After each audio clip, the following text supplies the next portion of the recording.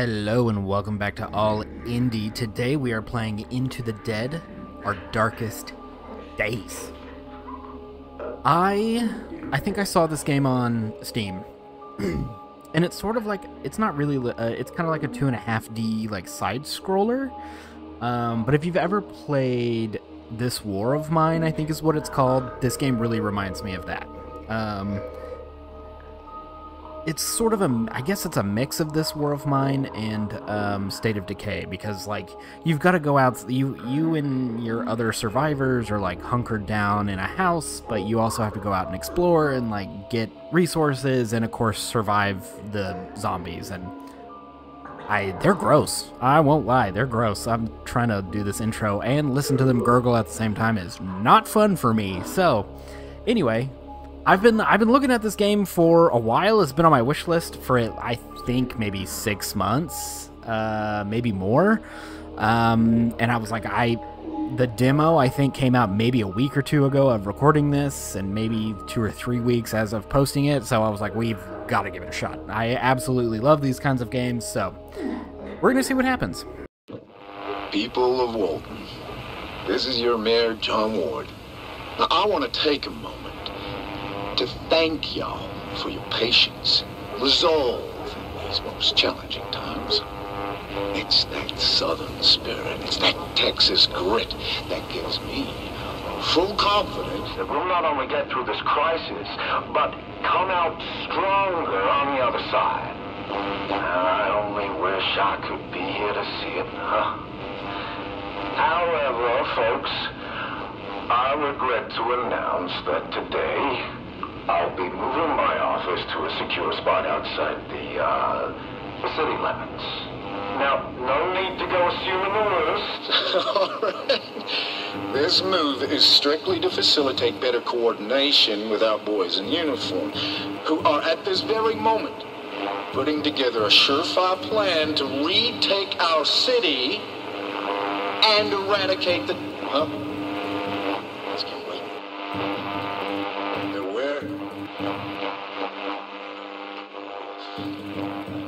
Excuse me.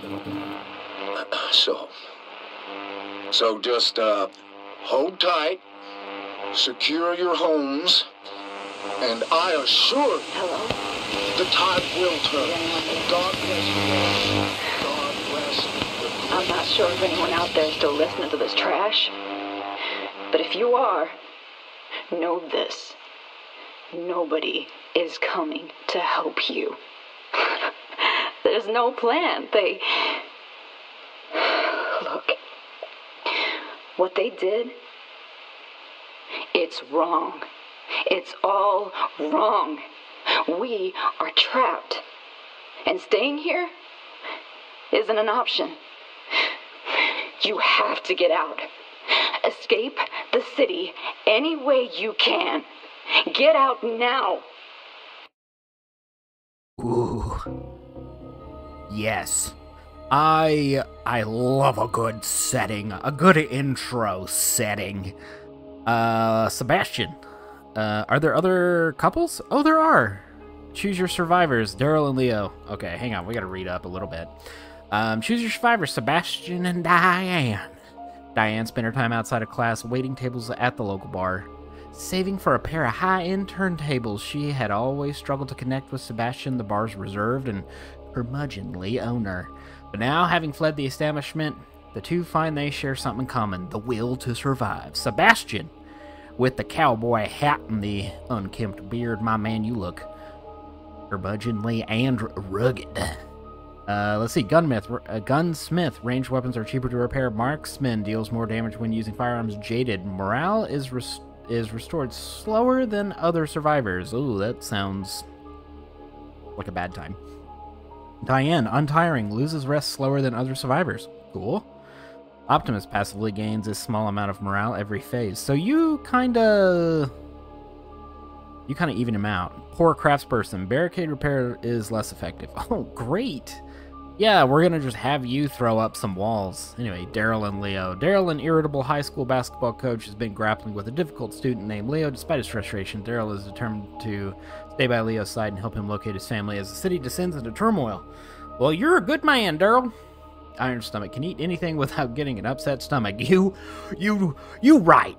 Old Daryl over here has eaten everything from from possum to bad grits, and he ain't gonna be upset about nothing.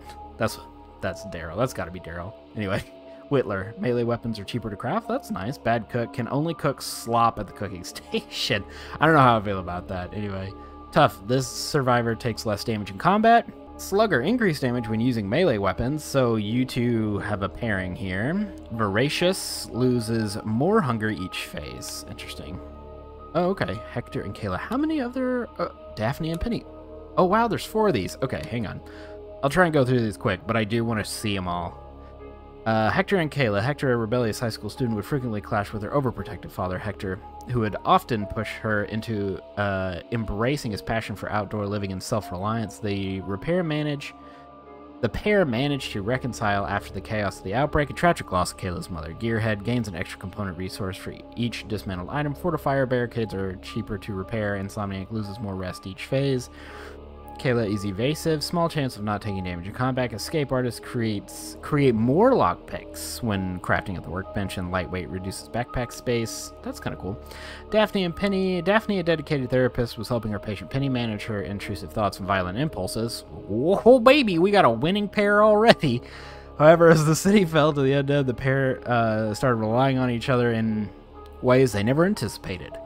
First aid training, medical items are cheaper to craft, good cook, recipes generate more food with the cooking sake, pacifist, attack damage is reduced. Okay, so Daphne's not going anywhere. Blade expert, increased damage when it, uh, using a bladed weapon, makes less noise when scavenging. Haunted undead attacks may also add a trauma state. I think I'm just gonna go with Sebastian and Diane, but I did want to show. I didn't realize they had. I they've. I think they've only been showing Sebastian and Diane in their in their videos, and this is like a pre-alpha build, so I didn't even know that they had like serve more than one pair of survivors. But we'll go with Sebastian. Good old Sebastian. Daytime, Wednesday, August 20th, 1980. This shelter won't do. The barricades are in bad shape and there's barely enough here to survive. We need to move to a new shelter as soon as possible and then find a way to escape this hellhole. Okay, objective, find a new shelter, move in. Cool. Phases. Each day split into two phases, daytime, nighttime. During a phase, you can assign survivors to stations to craft, resolve their needs, or scavenge, confirm actions to end the phase, put survivors to work. Okay. The map station is where you assign survivors to scavenge nearby locations for resources. Scavenging begins when the current phases the current phase has ended. Okay. Oh boy, undead attack. The undead hurled themselves against the barricades. You managed to hold them back this time. Barricade. Oof. So we're at one. We got one bar on us. Oh, and I am making a lot of noise already. Okay. Oh, these controls are going to take a little bit to get used to. Cool. Uh, so let's see. It doesn't seem like anybody's hungry. Any, it doesn't seem like anybody needs food. Uh, do I have like anything going on? Repairs three chunks of barricade. That would be. Can I add it to the queue? Can I do it more than once? No. Okay. Uh. Okay, now I'm her. Can I also have you? Oh, that's what that noise is. Oh, they're coming in behind us. Sebastian. Sebastian, we gotta get out of here. Oh, but you need some rest. Can I get, can I have you rest at night? It doesn't seem like I can do much at all. Like, can you... Oh. I like the way she just fell out. Uh, and then confirm? Okay, night, Wednesday, August 20th. Oh! Like the way she just hopped out of bed.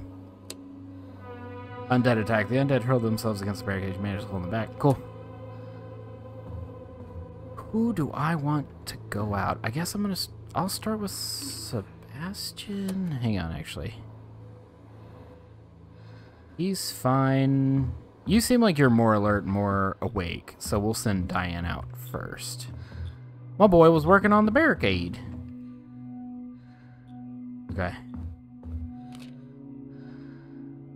Uh, windows are boarded. Oh, is that what this is? Cool. Barricade. Medium zombie density. Low. 38 Irving Drive. Once the best house on the worst street, but it's hard to tell the difference now. Some cupboards and drawers may contain food and other useful items. Sure. Yeah. That's it? That's all I got? Wait, what? Hang on a minute. Is there another... Time to barricade, had the key, remove last kid. What? Wait a minute. Is there not like another... Another station? You're telling me I ain't got nothing? Okay, hang on though. I'm I'm okay with that. Whatever. Let's just do it. Let's go scavenging. And then, do I want you to do anything? Yeah, like, can I, I guess, can you, you seem like you're doing okay sleep-wise. Uh, oh, the city is doing great. Yeah, you seem to be doing okay on everything. So, like, I'm actually okay with you doing, I ain't scared of those things out there. Oh, oh, ah, I'm sorry. Ah, made a mistake. Please stop knocking. Go away. We don't want any Girl Scout cookies. Leave us alone. Oh my gosh. Okay, I think I'm just gonna I'm gonna roll with it. Be careful. Losing a survivor means they're gone for good. Ooh. Oh, the pressure, the stress, the zombies. It's all starting to get to me now. Whatever will I do? I'm so excited for these for this game. Honestly, I like these kinds of games uh, honestly, just just because like this war of mine was really good. I don't know that I spent a ton of time in it. How do I? How does one? Relax, crows.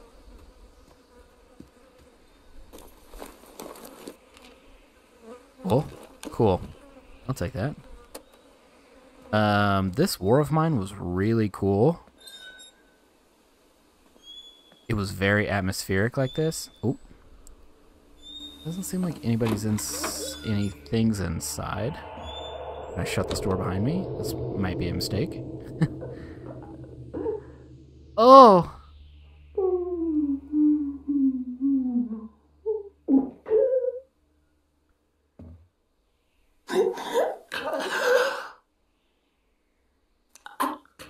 Oh, hell no. Oh my gosh. It sounds like the it almost sounds like a mix between a zombie and a witch from Left 4 Dead. Oh man. That this noise honestly I triggered a fear deep down in me from my Left 4 Dead days. I'm assuming I can sneak up behind you and like Oh, okay. I'm here. What? Oh, it's so loud.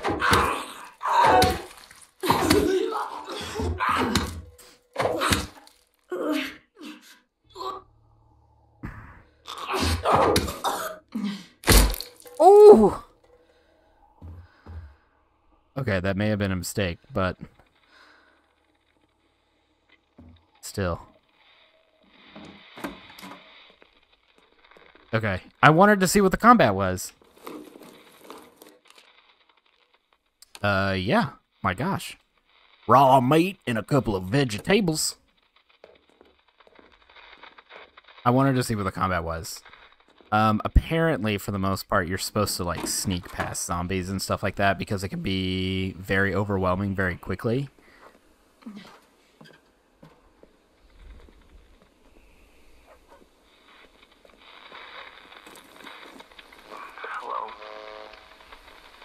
Scissors. Okay. Close. Bottled water. My partner and I were stuck here in the police station downtown on the top floor. We've been here for feels like forever. If you're out there, you gotta come get us, please. We've been rationing what food and water we have left, but it ain't gonna last. Oh, cool. Value Records, Griffith & Sons Hardware, our shop Presbyterian. Okay, cool. Interesting. I, so I wonder if I can go get those guys. And I'm assuming I can.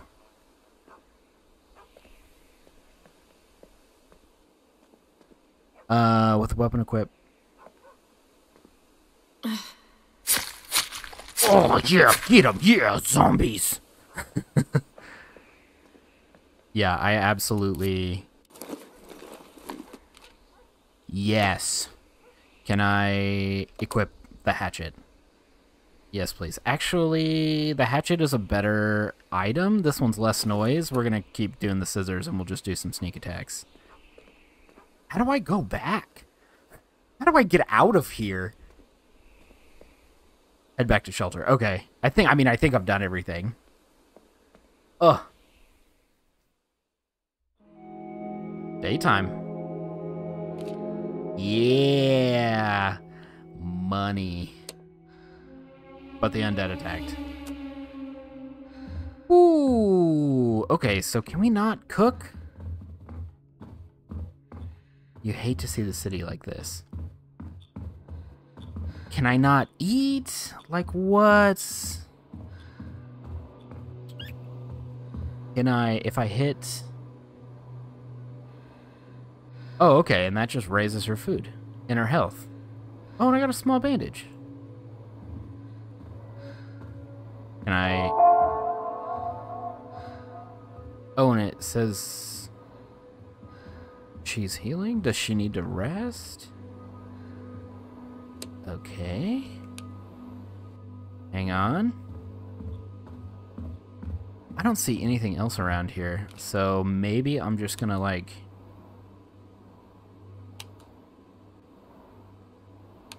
I'm okay with that. I'm okay with that. Wow. Uh, wow. And this, I, this video's been really, really long, but, okay, but that's the point of these, that's the point of these videos.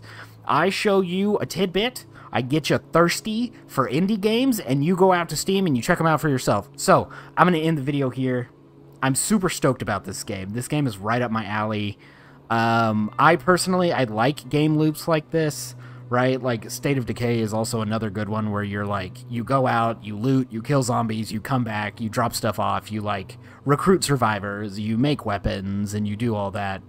Um, so link in the description before. This has been Into the Dead, Our Darkest Days. Check it out. Link in the description below. Support your indie game, indie, indie games, and your indie devs. Thank you so much for watching. See you in the next one.